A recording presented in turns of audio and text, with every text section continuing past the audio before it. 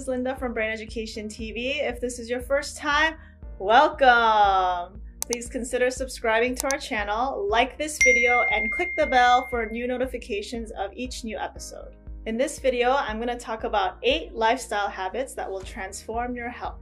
We tend to think of good health as something we either have or something we're hoping to regain.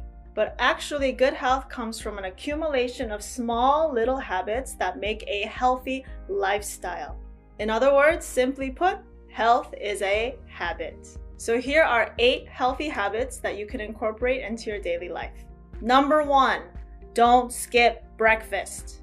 Did you know that a study done by the American Heart Association found that people who ate breakfast had lower levels of high blood pressure, heart disease, and cholesterol levels? And did you know that different organs in your body are active at different points throughout the day? And your body metabolism is also different throughout the day, too. So, the best timing for your body to absorb nutrients is actually earlier in the day than later. This means even if you have a really busy morning, it's very important that you prepare a nutritious meal for yourself, particularly a food that gives your body and brain energy to process throughout the day. Number two, Speaking of breakfast, prepare your food mindfully. Many times, especially when we're busy, we make food in a very hurried way. We just throw things randomly together and just mix it all up and then just eat it. But the energy that you put into the food when you prepare it is very important. For example, if you're very angry and you're making food with all this angry energy that you're putting into it, the anger that's inside of you is going to be transferred into the food that you make, and you're gonna consume the energy in that food, which is cycling the angry energy inside. And what's worse, if you have to prepare food for other people, the angry energy that you put into the food is going to be transferred to everyone who eats that food.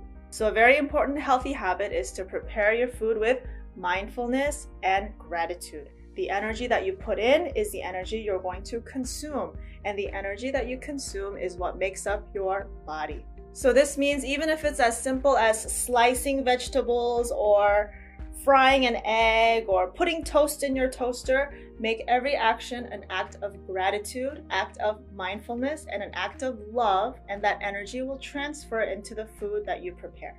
Number three, don't multitask. Did you know that our brains can only focus on one thing at a time? So, multitasking is actually an illusion. You can be working on multiple projects at once, but at any given time, your brain can only focus on one thing.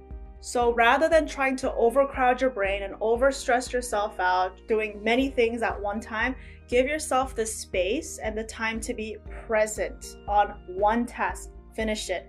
Next task, finish it. So that you can do it with mindfulness rather than being scattered all over the place. You'll find that when you focus on one thing at a time and letting your mind be present on the current task, you'll waste a lot less energy and you'll come home feeling less tired. In this busy, busy world, allow yourself the luxury of slowing down. Number four, drink plenty of water. I'm sure you've heard this one before. It's not anything new, but we can't state this enough. We have to keep our bodies hydrated. All of the metabolic processes that happen in our body run on water. If we don't have enough water, our bodies can't eliminate toxins properly, which causes a whole range of health problems. Some symptoms you might be facing if you're dehydrated are kidney stones, bad digestion, headache, acne breakout, dry skin, lack of energy, and more. Since every cell in our body depends on water, having enough fluid in your body is very important for great digestion, proper circulation, and homeostasis. A good trick to figure out how much water you need to take every single day, take your body weight in pounds, divide it by half, and that's the amount of fluid ounces that your body needs. So, for example, if you're 120 pounds, you divide that by half, 60 then you get 60 fluid ounces. That's the perfect amount for your body weight. Number five, keep moving. Get up off your computer seat and move your body to get your heart rate going, air in your lungs, circulation, and reduce body pain. Exercise helps blood and energy move through your muscles and joints, which can help reduce the risk of diabetes and heart disease. Moving your body also boosts your mood and helps create endorphins, which are feel good hormones. So it can be very helpful to combat anxiety and depression as well. Especially if most of your work comprises of sitting by a computer or sitting on your phone or not moving much, take at least 15 to 20 minutes throughout your day to just walk.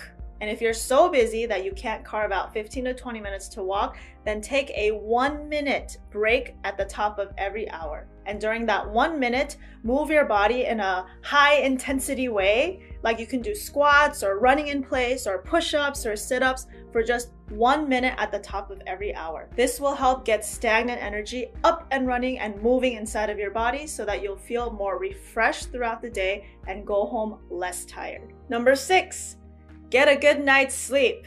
Your body recharges and refreshes while you sleep. It's no surprise that we need to rest enough so that our bodies can recharge and perform optimally the next day. But going a step further than that, not only is it important to get a good night's sleep, but it's very important to sleep regularly every night. So just because you're getting seven to eight hours of sleep, it's not as efficient if you sleep at five in the morning and then wake up at noon or one o'clock. Sleeping at a regular time at night and waking up at an appropriate hour in the morning is the best practice for getting your eight hours in. Some benefits of having a regular sleep schedule are it affects your mental sharpness, energy level, and emotional well being. And taking care of those elements will determine how the rest of your day unfolds. If you have some trouble sleeping, try doing some toe tapping exercise. I'll link a video in the description below to help you fall asleep much faster. Number seven, recharge in nature. Just like your body needs nutrients to be recharged and rejuvenated, your mind also needs to be recharged and rejuvenated through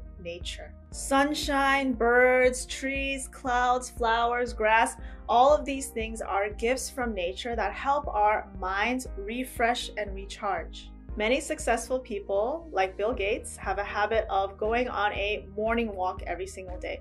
And these people report that they get their most creative, best ideas when they're out in nature, not bothered by honking and machinery and computers and all of this, when they can just relax and recharge and communicate with nature. A good way to relax and recharge in nature is to completely open up all of your five senses and soak it all in. Listen to the sounds of the insects, the birds.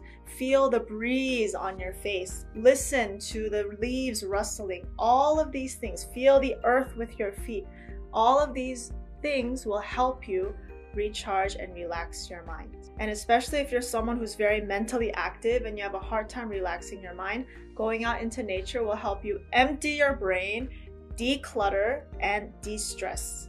Number eight, connect with yourself. So many of us, so often, are so focused on things outside of ourselves taking care of our family, taking care of our coworkers, taking care of our boss, taking care of our our situations, our attentions are forever taken outside of us, where we place other people as a priority before my own health and well being. Not to mention, our society has a very unhealthy feeling of guilt for self care. Let me say it here loud and clear self care is not selfish. When we take some time to meditate every single day to see what we want, what our dreams are, what are my goals, where is my life headed, then your life will be more clear and you can live a more purposeful life. And studies show that the difference between people who feel satisfied in their lives and people who don't, the satisfied group, they have a clear purpose. And that purpose gives them reason to live and reason to move on. And the only way to find your purpose is to connect with yourself. Also, when you connect with yourself, you can see where your obstacles are, think of creative problems to overcome your obstacles, and you can also see how you can better your human relationships, whether that be a romantic relationship, a friend relationship, a family relationship. You can see clearly how you can improve those things to make your life much better. A great practice to connect with yourself and meditate is to do positive affirmations. I made a video about positive affirmations, so I'll link that video in the description below. Make sure you check it out. Or another great resource is to read the book Connect by Ilchi Lee. There you will find detailed meditations, principles, and practice of how to best connect with yourself and what you can do concretely to resolve problems and to find solutions in your life. Good physical, emotional, mental health is an ongoing practice that requires your attention every step of the way. And following these tips may be easier said than done. But if you start small and try to make these small changes every single day, you will create a healthy habit that will last you a lifetime. Do you have any personal tips that help you stay healthy? Please let me know in the comments below. I'd love to hear what your tips are. Or if you have any comments or things to add from my tips, please let me know in the comments as well. Thanks so much for tuning in, guys. See you in another video. Bye. Subscribe and share this video now. Bye-bye.